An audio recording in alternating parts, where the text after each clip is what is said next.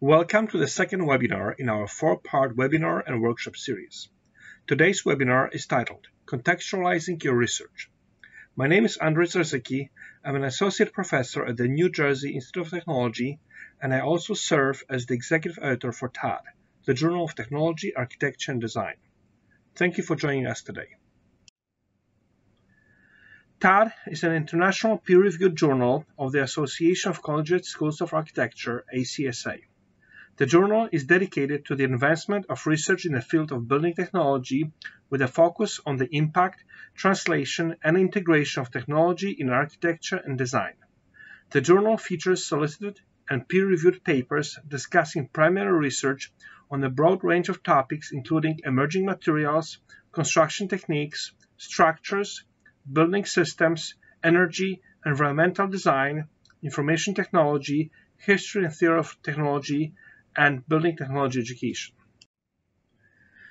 TAD is published by Taylor and Francis. If you're an ACSA member, you are likely already receiving a copy of TAD in your mailbox. You can also access TAD through the Taylor and Francis website where select content is available. If you would like to learn more about the journal, you can visit our website for editorial guidelines and supplemental content for each issue. For today's webinar, we have selected a group of three researchers that reflect diverse roles and research types. They represent approaches to architectural research that combine history, design theory, building performance, and information management. Our first panelist, Dr. William Braham, will be speaking about research cultures in architecture through his own consulting and research experience. In his discussion, he will relate engineering analysis and design optimization methods with historical and cultural analysis. Our second presenter, Dr. Pari Riahi, will discuss contextualization of her own work through primary and historical sources. She will also touch on the ways to engage research from other peripheral disciplines to better understand overlaps and possible idea reformulations. Our final presenter, Dr. Mark Clayton, will discuss the impact of information technologies on building design and construction research. Specifically, he will talk about model-based research through a number of case studies, including human behavior modeling and automated building code compliance. With that, I present our panelists' presentations. Good morning. My name is Bill Braham. I am Professor of Architecture at the University of Pennsylvania, where I am currently Director of the MSD program in Environmental Building Design and the Director of the Center for Environmental Building and Design. I'm calling this talk Thermodynamic Narratives, Working Between Two Cultures, uh, as a way to contextualize research in architecture and in particular to describe the, the difficulties I've had and the paths I've followed in order to do exactly that, to find contexts for my research. Um, I've appropriated that title from the uh, very well-known essay by um, C.P. Snow, Two Cultures in the Scientific Revolution, an essay he wrote in the, or a talk he gave, and then an essay he wrote in the late 1950s, uh, describing the incredible distance he encountered between what we'll think of as hardcore scientists and then those in the humanities. I believe we have a similar division within architecture. We have a we actually have probably three or maybe four different cultures of research in architecture. So I'm only going to be addressing uh, two of them. Uh, the first, culture one, what I'll call engineering analysis and design optimization. I had the good fortune of being in college in the late 1970s uh, and was drawn briefly out of my uh, architecture studies into the engineering school, uh, where there was a remarkable group dealing with the consequences of the energy crisis. Um, the, the, the standard tools, I guess I'll say, of, of, of engineering, uh, mathematical analysis, modeling, simulation, uh, and always the question of how to optimize and enhance efficiency. Uh, it's a very powerful toolkit. It's one that uh, um, architects, I believe, benefit from learning more of, but it's also one that has its has its limitations after a dozen years of practicing as an architect, I came back uh, to teach at Penn and, and also to begin a PhD and really used it. Um, I would even characterize it as remedial liberal arts. Uh, I spent a good decade uh, essentially exploring the, the, the, the topics, the, the, popular topics at the time of rethinking the historical avant garde, um, my particular focus in that period was color, uh, looking at both that what I'll call a technical analysis, but but but very loosely technical, and much more broadly historical and cultural.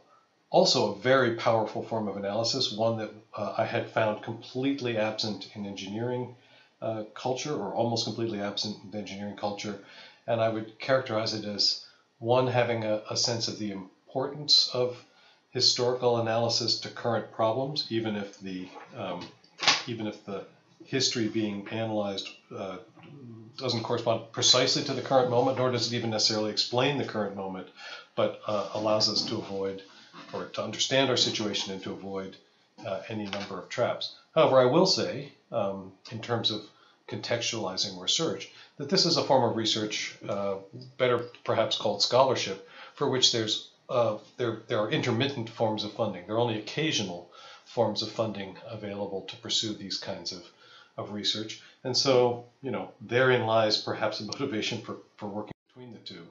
Um, after diving in for uh, all those years into the question of color and uh, related to a number of other uh, topics I was teaching, uh, I, I, worked with a colleague to put together a reader and to really think of this as a project to, to reorient um, the way I had been working. A reader we called Rethinking Technology, which looked at uh, roughly 100 years of writing about technology in architecture. I think one could even say TAD is um, continuing that project and, and, and carrying it forward. Um, what we were interested in was all the ways in which architecture was technological, and in particular, how the concepts of systems thinking had changed that, or how how early that the, the, the, the things we now call systems thinking emerged in architecture and were only formalized later in the later in the century. Hugely helpful book for me to bring together those two cultures, uh, to not see them as so much opposite sides of the coin, uh, as uh, different ways of asking similar questions. Um, however, uh, in parallel to that, and, and, and frankly, as, as part of being a young faculty member, uh, looking for ways to both um, have meaningful problems to work on and also to have resources with which to do that, uh, I began with a number of different colleagues over the years and in, and in a number, number of different institutional formats, uh, a path of consulting. This is currently work that you know we list and claim under the Center for Environmental Building and Design. Uh, it's variously been called the TC Chan Center and the Building Simulation Group.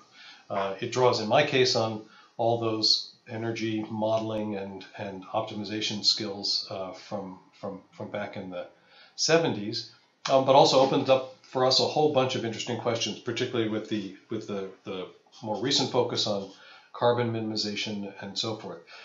But to be to be you know completely clear about this, these are kinds of work in which uh, which are often only moderately innovative.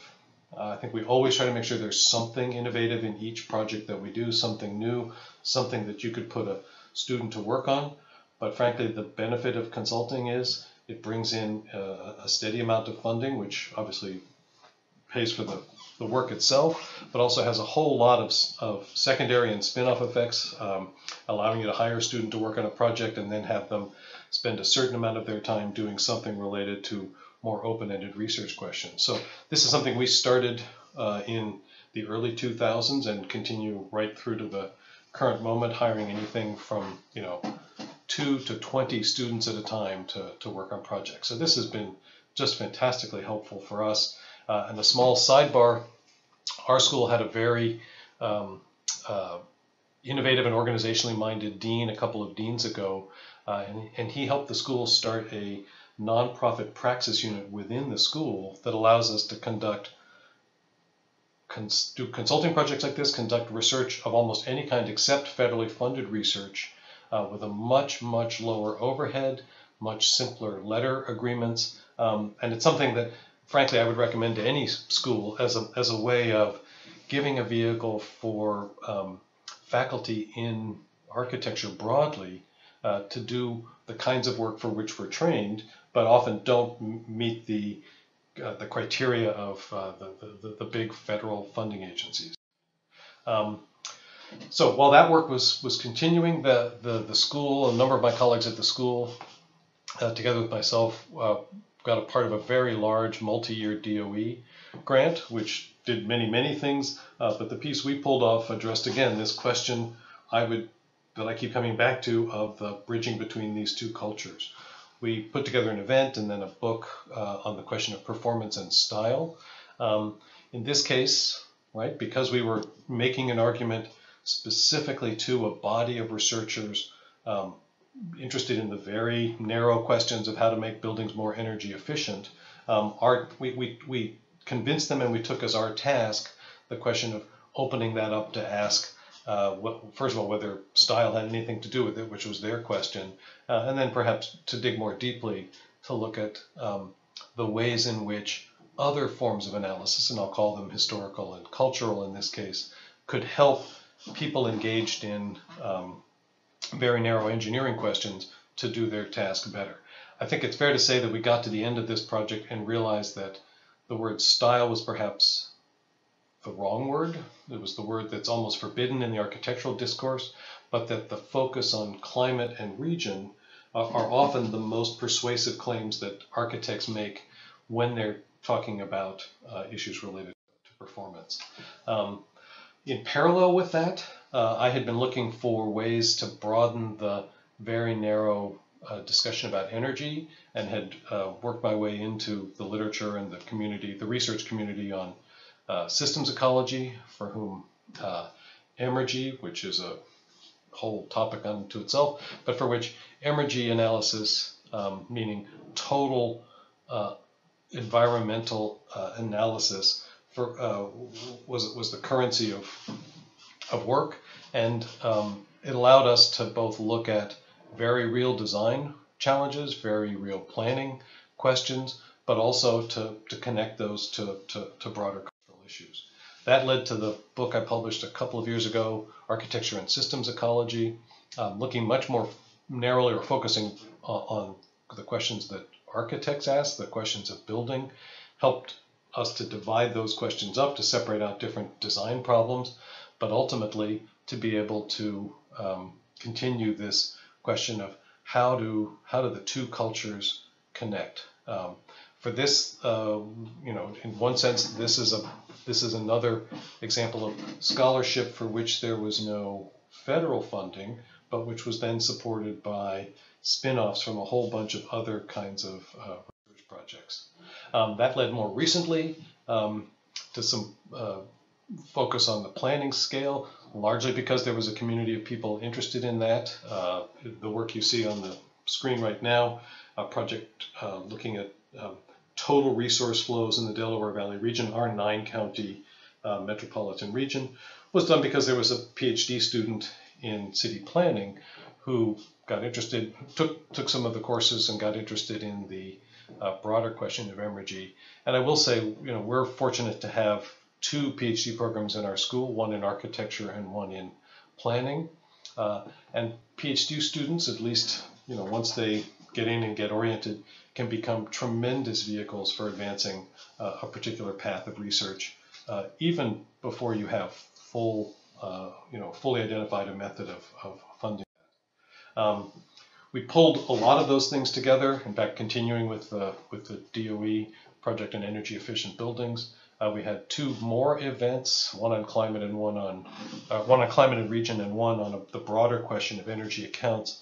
Pulled those together in another book, and again aimed precisely at this this question of the two cultures, uh, looking at the various ways, the various scales, and the various ways in which um, architects and those dealing with the built environment already make claims about energy or represent energy. And so this went from engineers showing why they use one kind of graph or chart or image in one situation to broader kinds of cultural questions. And I think the two almost always have to go together. They are all some form of promise about the future. Um, and it certainly, on the one hand, challenged the engineers to see their work in that light, and it equally challenged um, people coming from a more historical or theoretical orientation to recognize the degree to which their broad claims or their broad interests were present in uh, specific decisions that designers make on a day to day basis. And then I'll just finish by saying um, you know, this question of contextual language in your research, I've, I've just told a story which makes uh, it sound like this fantastically purposeful, very clearly charted path through 30 years of, of work. Um, nothing could be farther from the truth. Um, the number of uh, accidents and opportunities that simply came along the way. So we're now working on a project um, with a collaborator in Mongolia, a nonprofit in Mongolia, helping them to understand the essentially the thermal dynamics of the Mongolian ger, because the what what we all learned to call yurts, because the ger uh, dwellers, the, the former nomads of Mongolia, have over the last 20 years become urban dwellers in a huge uh, collection of, of what they call the ger district around the capital city. And so uh, they're both interested in how one can make the ger more efficient, a classic engineering question, and at the same time trying to understand the changes that are going as nomads become urban dwellers, as the ger, which was designed as a mobile, easily demountable structure, becomes permanent. Um, and so we're, we're, again, precisely in that arena between the two cultures. Thank you. Hello, my name is Pari Riahi, and I'm the Assistant Professor of Architecture at the University of Massachusetts Amherst. My research unfolds along two different tracks, one of which is mostly based on written scholarship and looks into the transformation of architectural drawings over time, while the other relates to understanding the challenges of working within a pre-existing built environment, in this case the constellation of public housing projects built around the city of Paris in the second half of 20th century through both research and design. While the subject matters and the formats through which I conduct research are very different, I often find myself looking into a series of sources and resources that shape the general landscape of my work in both categories. Oftentimes, I start by looking into the themes within which my research can be defined as a first step to delve deeper into the subject matter Naturally, this also results in looking into authors whose work I associate with that. I often spend a large portion of time on examining annotated bibliographies, indices of work already published, and notes made by others in order to make sure that I've covered the basis of what I need to study, understand, or examine. Complementary to these steps, I find that looking into the peripheral themes, authors, and subjects that do not necessarily cover my topics but may be related to it is incredibly valuable. Looking into other disciplines and trying to understand possible overlaps, reformulations, or synthesizing information, data, or work from other fields is informative and critical to giving me a broader understanding of the subject, which would otherwise not be part of my field of knowledge or reference. My primary research track which revolves around the theme of architectural drawing, has unfolded into two parts. The first, published as a book, is a revised version of my PhD dissertation and focuses on a question that preoccupied me and in a way shaped the path for both my dissertation and my forthcoming work.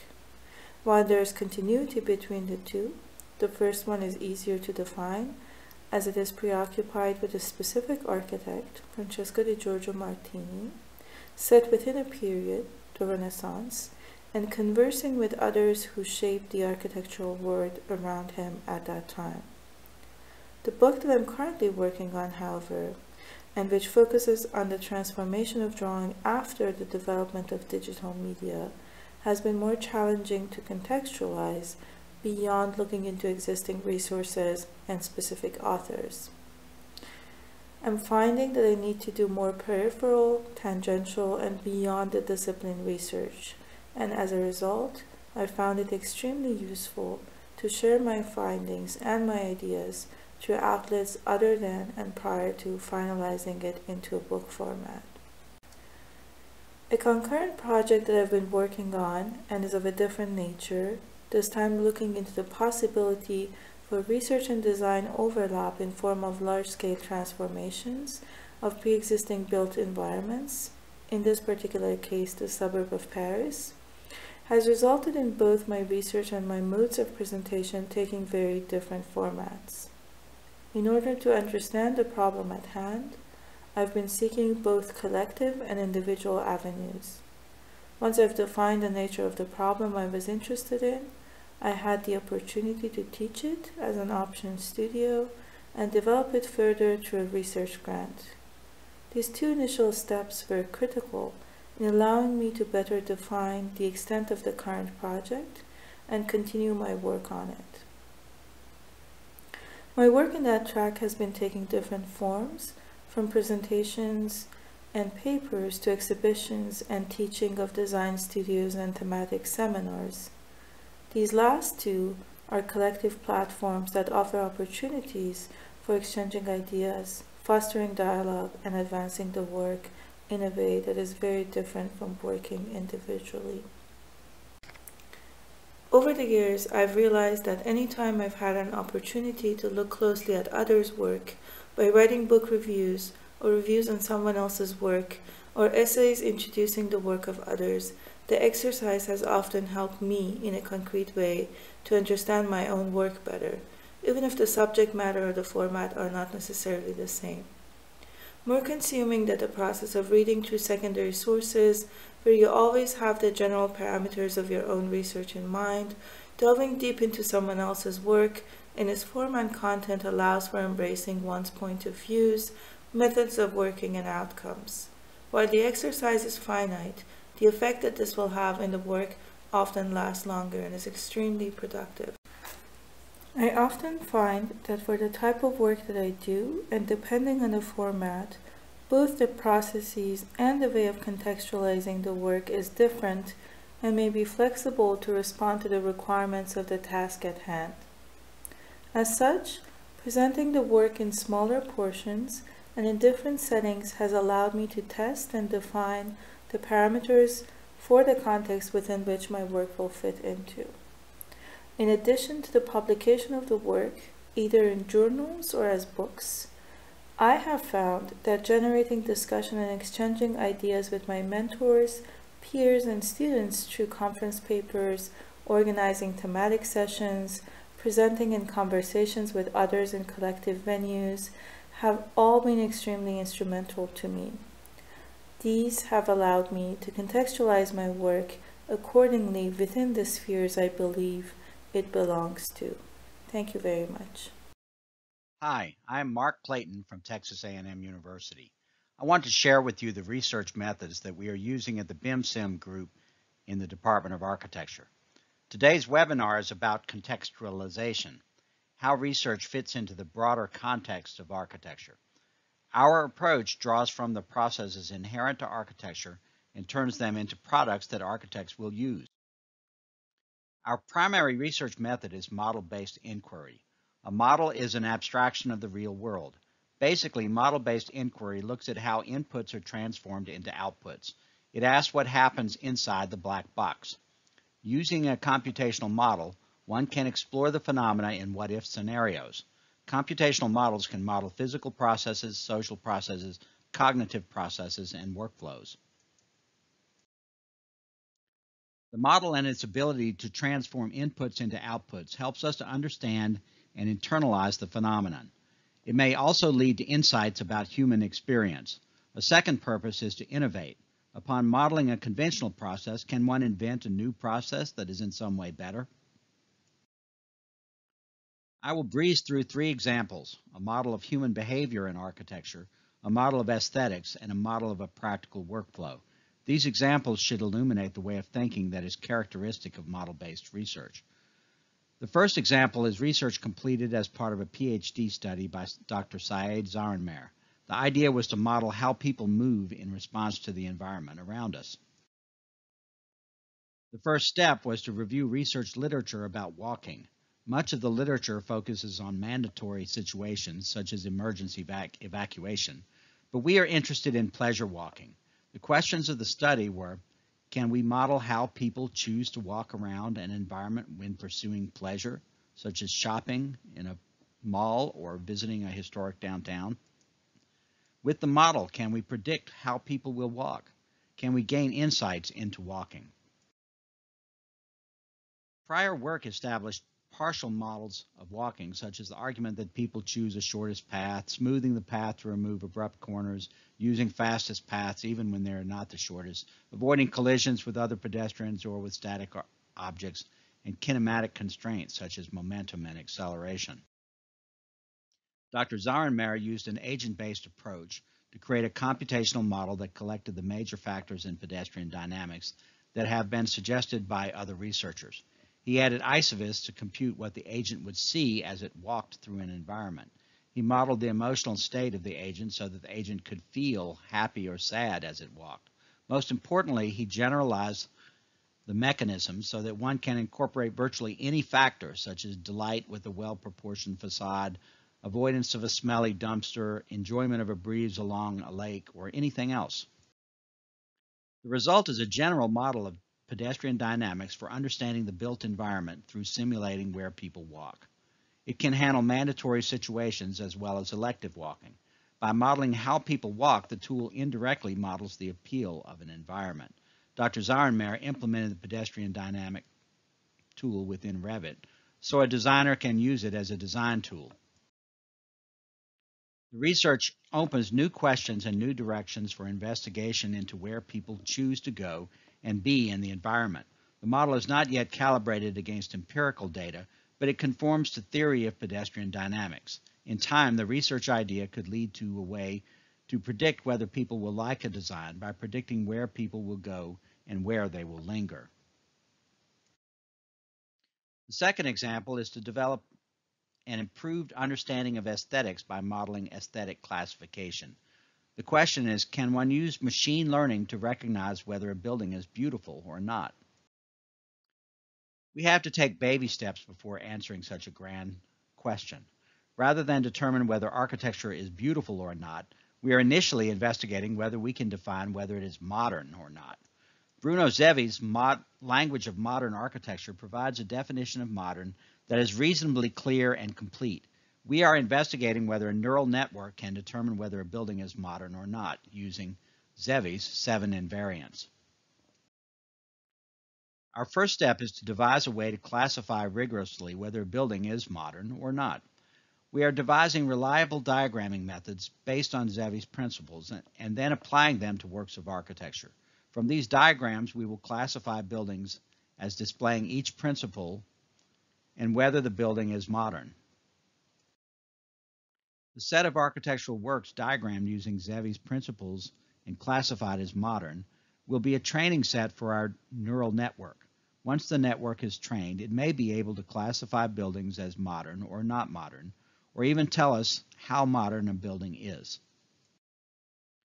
In spite of a certain fuzziness of this reasoning, it should be possible to model it with a neural network. The output is whether the building is modern or not modern. The input is a rating based on each of Zevi's principles. A hidden layer manipulates the input into the output. The training set teaches the network to classify buildings. Once the network is trained, we can feed it input data describing additional buildings and see how it classifies the buildings. This work is just underway. Stay tuned. The third example is a workflow model. The broad idea is to identify and isolate a work process, define and document it, and then model portions of the process to create an innovative process. Obtaining a building permit is a major milestone in a building project. After design is finished, the drawings are submitted to a municipality or other authority having jurisdiction for plan review for code compliance. Only after the permit is obtained, construction may begin. Only after construction is complete can an owner begin recouping the investment through revenue. The step of obtaining a permit is frequently a bottleneck that costs architects, owners, municipalities, and the public. The current process is largely dependent upon people to review the plans using paper and pencil methods. Designing for compliance can be slow, and the plan review by the AHJ can also be slow. Often drawings are sent back for revision. The process is nearly always on the critical path, and can add weeks and months to a building project. The delays are creating fiction, friction in the national economy. By understanding computational methods and the existing plan review process, we were able to devise an innovative process. The architect, aided by software, may rapidly create a compliant design. Software then produces a compliance report that is submitted to the AHJ. As the AHJ begins to trust and rely upon the report, permitting can become an over-the-counter process requiring a matter of minutes rather than months. Our prototype software is integrated into Revit as an add-in. Any non-compliant elements are identified in the Revit model for the designer to modify. The software then extracts information from the BIM and sends it to our cloud server where other software applies the rules to the building code and produces the report. Soft, Smart Review APR is a commercial product in limited release. Download it and try it out. Model-based research is a method that is highly contextual to industry and the disciplines of design. The topics can be design methods, industry practices, and the experience of architecture. The issues to be studied are both pure research that is directed toward understanding the human condition and applied research that has potential for commercial value. Model-based research can get at the heart of architecture and how we experience the environment. Thanks for your attention.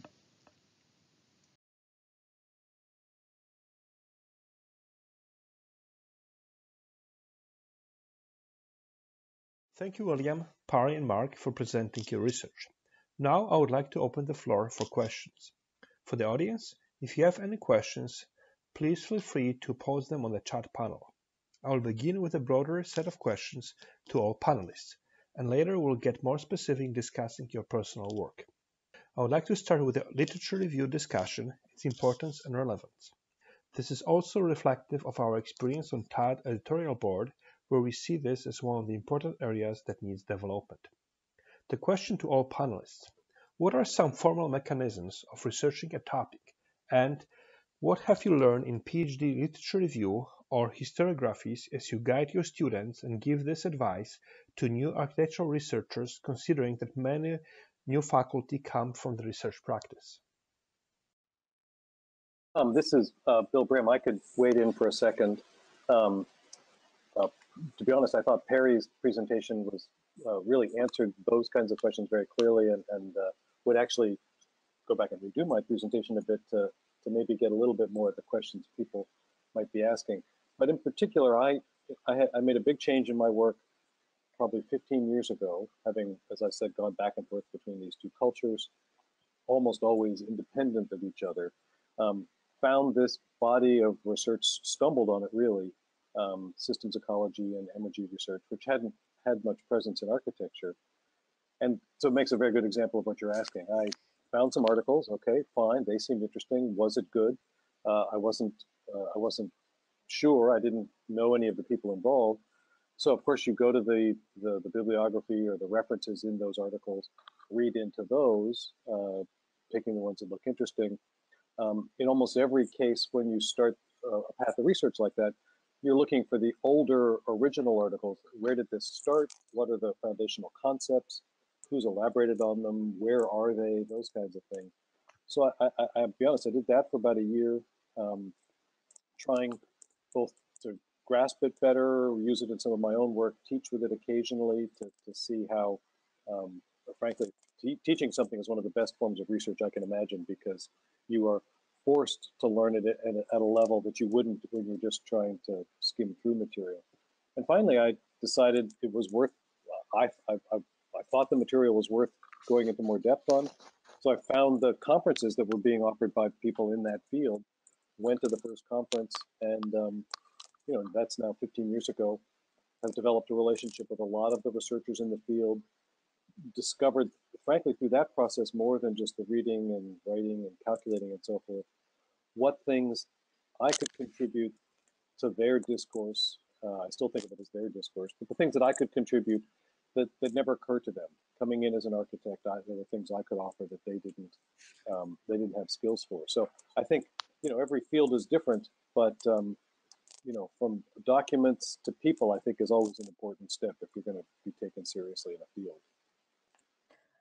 And um, if I may join in, um, first of all, um, hello everyone, and I enjoyed um, the other two presentations as well. Um, I think I just want to emphasize that in addition to clearly the secondary literature review, um, I often spend an incredible amount of time on notes and index and uh, really kind of uh, define tune research that is done by others because I often find that that really expands my field of references, but also really my understanding of the subject matter. I agree that having the opportunity to teach uh, portions or parts of your research um, in the format of a studio or a seminar is extremely um, beneficial and in a way opens up the discussion to ways of seeing the problem that you have never um, would have conceived of if you're just thinking about um, it yourself. Um, and um, I just really also want to emphasize that going to conferences, not so much for presenting your work only, but also to really be exposed to um, how different mm, people um, think about it really geographically and also institution wise is something that is incredibly um, useful and productive. Yeah, I'd, I'd be happy to add a little bit. Um, you know, so so the comments about uh, how to do a literature review are are spot on. Um, one one kind of issue is when do you stop the literature review? And um, you know, so uh, maybe a century ago, someone who had a doctorate supposedly knew everything about the field, had read all the literature. Obviously, that's not possible anymore. So, um, so the advice I give to students about conducting their literature review is to um, is is basically you expand out by getting an article or book and looking at the references and then following those references and looking what's uh, in them uh, and you keep on doing that. Um, when when you're starting to loop back on the same references uh, or or most of your work is looping back onto something you've already read then then you've probably done a sufficient literature review um, but um, but that basic process of expanding out from the references is is what I think everybody does. Thank you, Mark. We'll come back to the literature review topic, but now I would like to shift to a question we got from one of our panelists, Casey Villette. This is an interesting question and something I was thinking about when watching today's presentations. Casey asks, please briefly describe the process of shifting from academic research to commercially available products, specifically in terms of the institutional structure which supports it. Our organizations outside the university created to facilitate this. William and Mark, you both talked in your presentations about different models that relate to this question. Can you elaborate?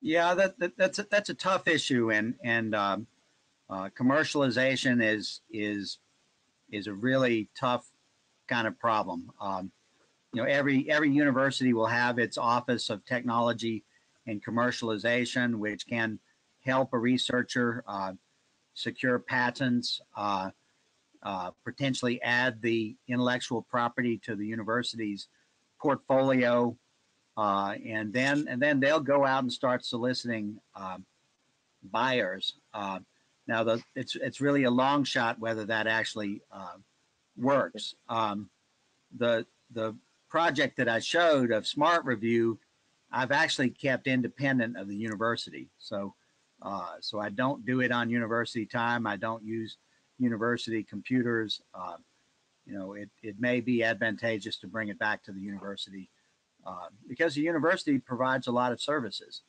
Um, but um, but it's it's a um, uh, it's a real challenge to uh, to to reach adoption uh, of anything we do out in the world. I think yeah, Bill's had better experiences in treating it as a consultancy, um, where where you can identify a particular project that uh, that an external um, uh, funder is interested in, and, and you perform the work for them. Is, is, is that right, Bill, or is that how, how it's done? Yeah, no, and I would I would actually uh, distinguish between those two because y- y- you've got it exactly right. We found very early that you know things we sort of took for granted, you know, things we had developed in teaching and research and so forth, were actually really useful to to, to people in the world, and we try hard not to compete directly with with architecture consulting practices, but usually we're doing it differently, and so that that's one. But I, I think the product specifically the product question is always challenging.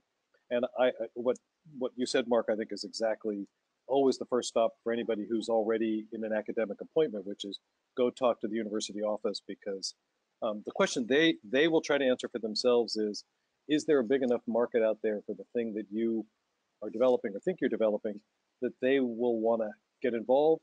Uh, some universities have resources to actually invest and so forth but if they don't see a market and frankly if you're not in the medical industry or you know some of these other deep pocket industries there usually isn't a, a big market out there they will uh, we've had a couple of these conversations over the years not just about my work and they basically said you know with our blessing go ahead and you're on your own you can keep your ip um, but I would go a, di a, different direction, which wouldn't have occurred to me. But I have a, a former student and now colleague, Mostapha Sadeghipour, who's developed uh, plugins for Grasshopper, Ladybug and Honeybee. They're now the second most popular plugins. They, at least in my field, they've changed the way architectural practices use performance simulation in their work. So hugely influential.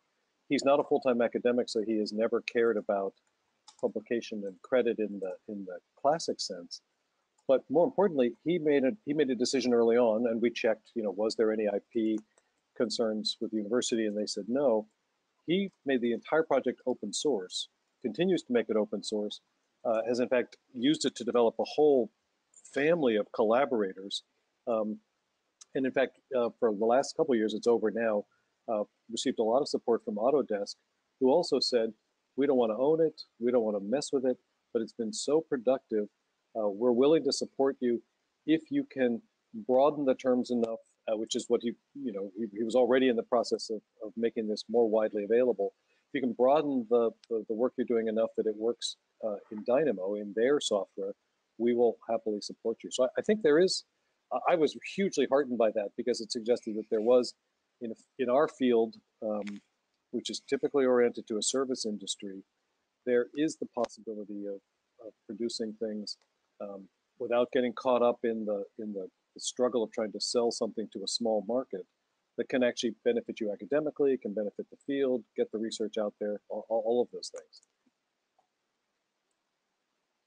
Uh, thank you, um, Bill. I, I, could add something, um, um, Andre. Um, okay, great. Is um, as an academic, um, the goal may not be to make money with the with the tool. Um, one can in, influence the industry, as as Bill is saying, and um, I can give you another example. Is my master's thesis at UCLA in 1987 was um, was a program called Climate Consultant, um, which um, cool. my guess is is some of you guys have probably used. Um, yes. But um, you know, downloaded from from UCLA's site um, um, thousands of times, hundreds of thousands of times. Now, I now you know I, am not going to claim credit for that. That I wrote the first version, and I bet there's not a single line of code in it now that I wrote. But but um, but the products, um, you know, the ideas that we come up with can have a, a very significant impact. Um, the, the, the crazy thing I've learned in, in our field, it probably takes 15 years or 20 years to see the impact of, of the things that we do uh, in innovating processes and software uh, and such. And, and that is, that's discouraging. Um, but um, but once you realize that, it doesn't necessarily prevent you from doing something. I would like to switch back to contextualization of research discussion and ask Pari a question. We have heard phrases like getting comfortable with literature. Can you speak more about the ways you engage and extract the knowledge from other disciplines? Uh, specifically, how do you begin to expand expertise to engage a new specialization or new focus as you suggest you are doing with your book that talks about post-digital representation? Yes, so um, my, my work is still in development, and so I think uh, the answer is accordingly a hypothetical answer at this point. Uh, but one of the things that I have found um, as a challenge working on this particular topic, and I just want to maybe expand on a question that was asked previously also is that um, in my case, what I found very important is in addition to the um, more kind of scholarly based research, I um, have been really curious and following uh, different courses that are taught in um, different schools on the topic or subject of drawings. And um, in a way, that has become extremely important within the discipline for me to kind of track at the same time them working on uh, more text-based uh, sources.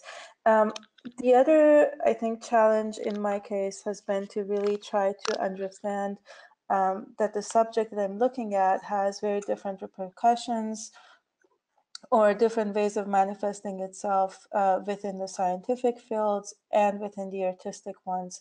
So I've often found it really refreshing um, to look at um, either painting or sculpture as places where uh, possibilities of the digital are emerging that um, could really be complementary to architecture.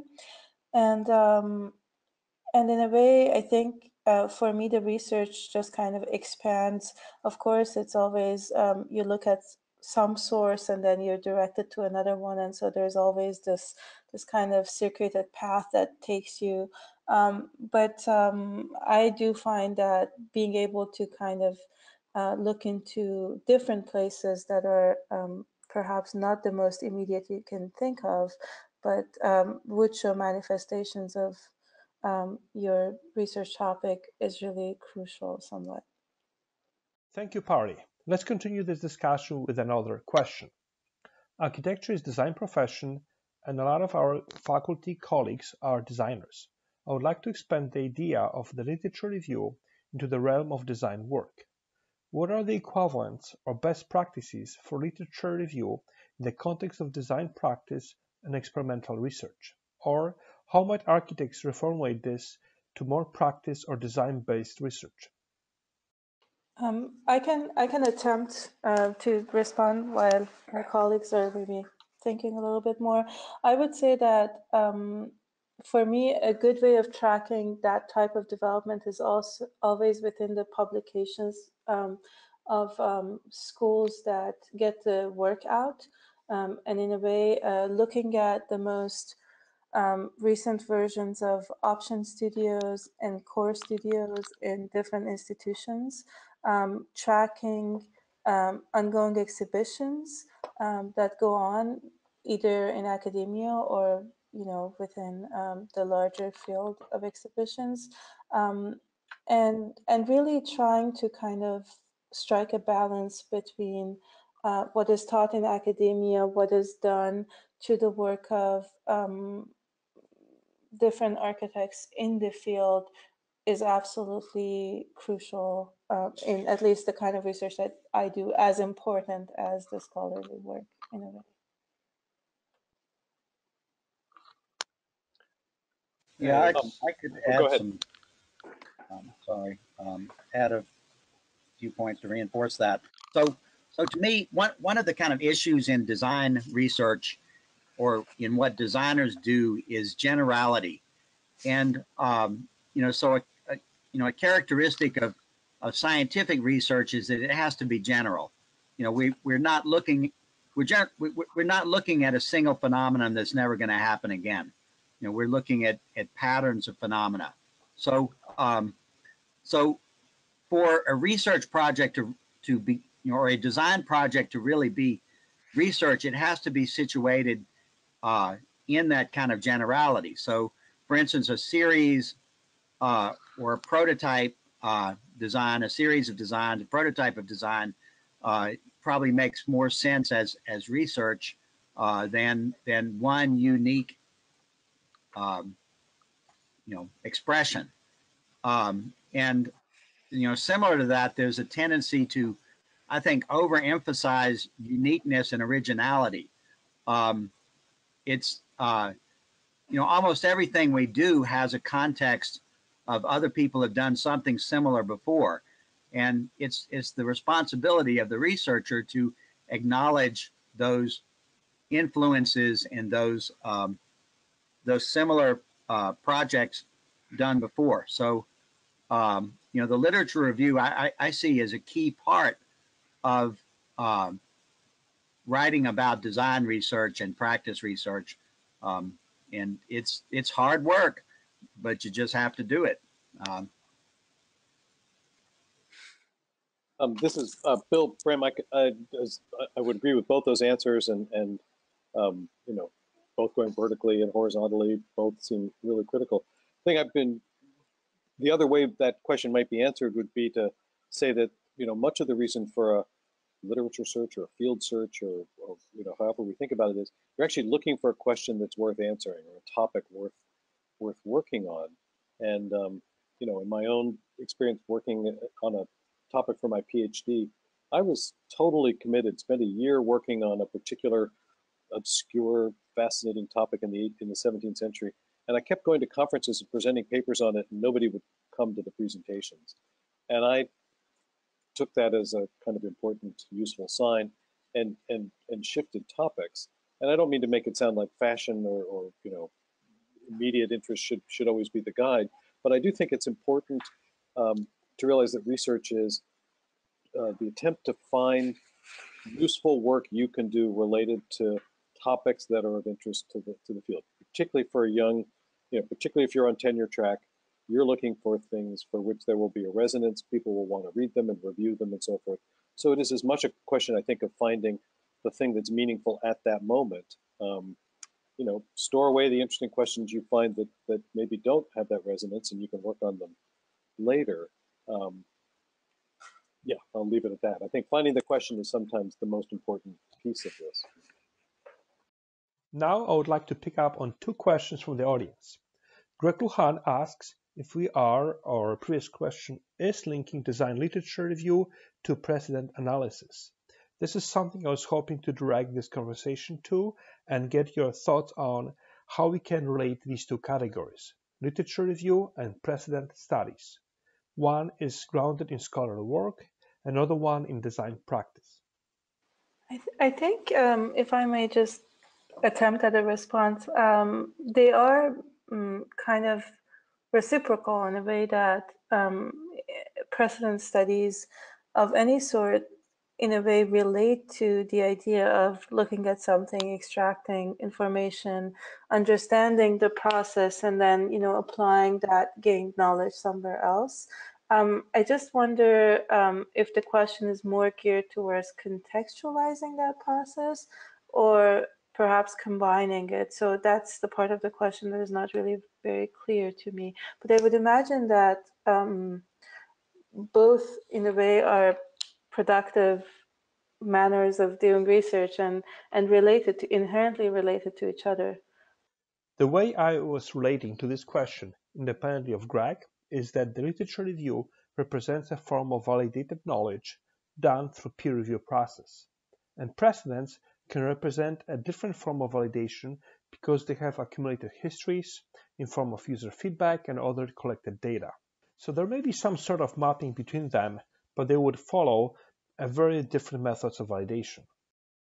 Yeah, I, I think they both uh, clearly fall in the category of prior work, and so uh, you know, so they are um, you know, two sides of the same coin or, or something. But um, so, um, you know, I, I, I would say um, a presentation of a design research has, you know, has got to um, be honest about the prior work, uh, the uh, precedents and, and um, uh, acknowledge what's been done before. Um, and that's, that's just part of the uh, rigor that we that is our responsibility as a researcher. But but I think they're very they're very similar and they they um, serve similar purposes in the two kinds of or two modes of research. Thank you. We have one more question, this time from Brian Brush. Related to the current question, how do you address tacit knowledge gained in practice in both a literature review and in various methodologies? How do you communicate it validate it, and connect it to primary and secondary sources. I, I, I, think tacit knowledge is, is a fascinating topic, and uh, um, some of my doctoral students have, have worked on that specifically. I, I, I think the, the first area is that um, is that many people come back to academia to do a PhD after years in practice, my you know myself included. So, um, and and it's kind of coming back to practice or coming back to academia with a insight about the practice world. Uh, and in some sense, that's that's tacit knowledge that you're trying to make explicit. Um, and so the the kind of deep investigation, um, uh, you know, the the precedent and prior work is to explore that insight or that hunch um, that that probably starts off fairly tacit and then has to be made explicit. Um, but so so I think tacit knowledge is is very critical. Um, but kind of the nature of research is to transform tacit knowledge into explicit knowledge so that it can be shared. Um, that sharing tacit knowledge is is problematic. It's there are ways to do it. The old uh, apprenticeship model was a way to share tacit knowledge, but um, but um, the research is generally trying to turn the tacit knowledge into explicit knowledge. Uh, there, there, are clearly ways to, to collect tacit knowledge through naturalistic inquiry and uh, ethno uh, ethnographic studies, um, where you kind of immerse yourself in in the um, uh, you know in the community and observe what happens and start to try to tease out what mm-hmm. the behaviors are and uh, and shared belief system is and uh, and premises and knowledge that everyone has but nobody talks about. So um, so so there are some great research methods for for dealing with that. Thank you, Mark. We are getting to the end of webinar. Any last comments from Pari or William? Two sentences on that last question, just because it was an interesting one. And I think it does depend on the kind of tacit knowledge that is being referred to you know, if it's social questions, then there's a body of methods and a literature that, you know, one could pursue in that way. You know, if it's something else, and I can imagine many different kinds of examples, you know, why I think this material or this spatial arrangement is better in this context than that, there could be different methods. And one can even imagine other ones, you know, that are related to, you know, aesthetic judgments or health or, you know, pick your pick your category. So that is one in which research part of the task of the research would be to open up um, exactly what it is that is involved in that tacit knowledge. And you know, has it been researched before? Would this be something uh, useful and interesting to try and find a way to make explicit? Um, does it bring up other questions and so on? And I would I would just probably um, finish by saying that I agree uh, with um, the comments made previously that in a way I believe that tacit knowledge could be a very good starting place for for a research project but then you know the research structure is also there to kind of fill in the gap and and and take over um, a much more formalized process that will allow uh, for the investigation to unfold. With this, I would like to end today's webinar and thank our panelists and attendees for joining us. I would also like to remind that this and other webinars are available via ACSA YouTube channel. Thank you.